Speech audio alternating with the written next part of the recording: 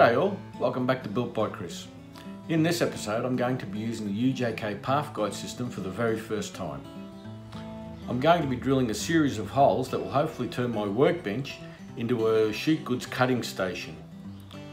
If you want to learn more about the UJK Parf Guide system, I urge you to watch Peter Parfitt's channel, New Brit Workshop. He'll be able to tell you a lot more about it as he's the inventor of this system. Just a quick word on part one of this video.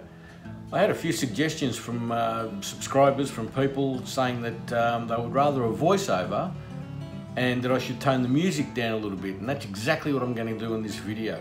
Now bear with me, I hate the sound of my own voice so let's see how we go with that. The Parf guide comes with these two rulers with uh, holes drilled every 96 millimeters on centre. Here I am measuring where I'm going to put the first hole. Putting the hole roughly 200mm by 200mm in from the edges just so I don't hit the frame under the table. I'm using an adjustable square here just to make sure that the Parf guide ruler is square to the edge of the table.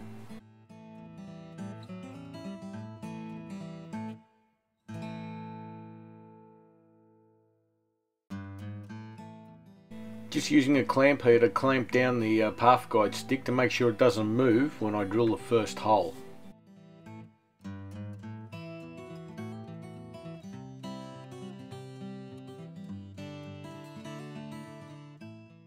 Once I've drilled the first hole I'm going to use a pin, a 3mm pin that comes with the kit to hold it in place. Here I'm using the 3mm drill guide to make sure that the hole is vertical.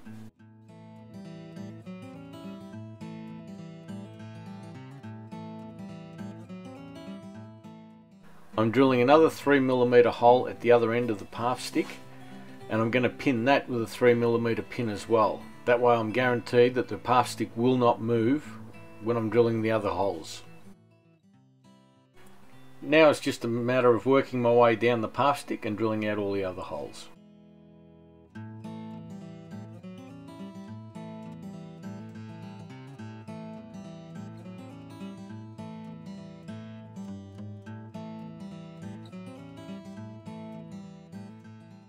Here's where the Parf guide system comes into its own.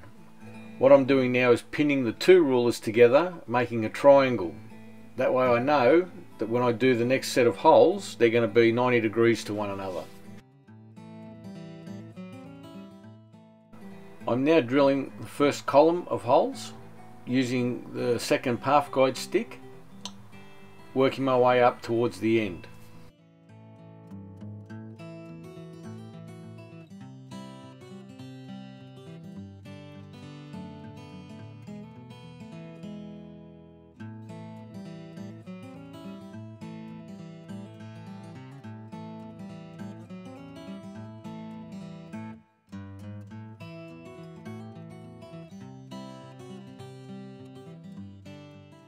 I'm now going to drill the second row of holes that are 90 degrees to the first column I just drilled.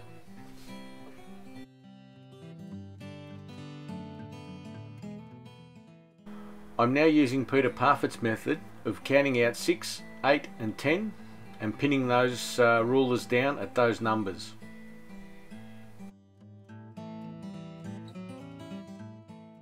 This will ensure that when I drill this second row of holes that they're going to be exactly 90 degrees to the first column.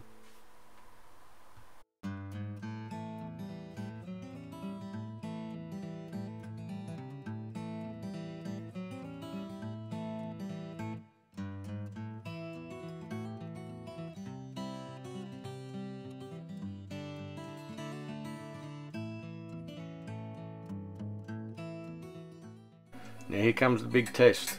If I've done everything right up until now, that pin will fit and that pin will fit.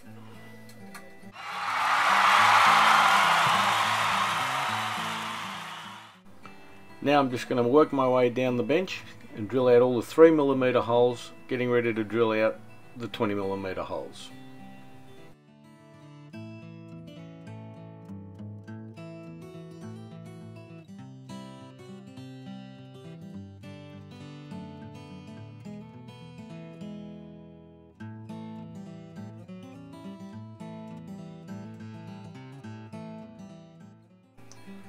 I've now pinned the 20mm guide block to the 3mm holes I drilled previously and now I'm drilling the 20mm holes. The 20mm drill bit that comes with the Parf guide system has a 3mm pin in the centre so it locates itself into the 3mm holes that I've just drilled.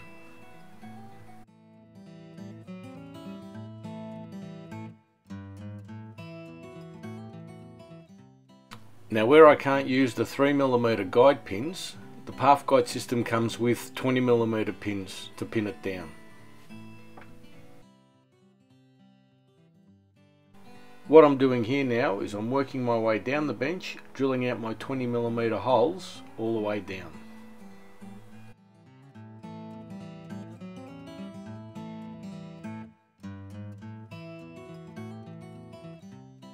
One thing I've noticed about the Parf guide system is how accurate it is. Everything just fits, everything's perfect. Holes are drilled exactly where they're supposed to be drilled. It's, it's fantastic.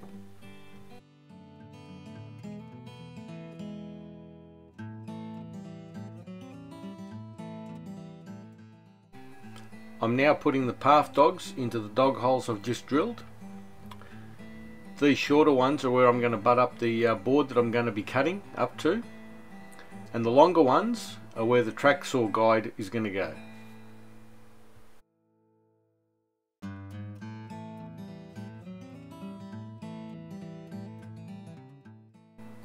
Okay, time to cut the first board. Track saw guide down and here we go. Now I've got to tell you, this is the first time I've ever used this thing. First cut I ever made. And the accuracy, we'll just have a look at that. I don't think you can get any closer. Anyway, after using the UJK Parf guide system, drilling out the few holes, making a few cuts, I'm absolutely overjoyed with the accuracy and the ease of which I'll be able to cut down my sheet goods now. Okay, so I'll call this the end of part two. In part three, I'm going to be putting my router lift back into the table, so stay tuned for that one. Thanks for watching, and please hit that subscribe button and the notification bell. Thank you. Bye for now.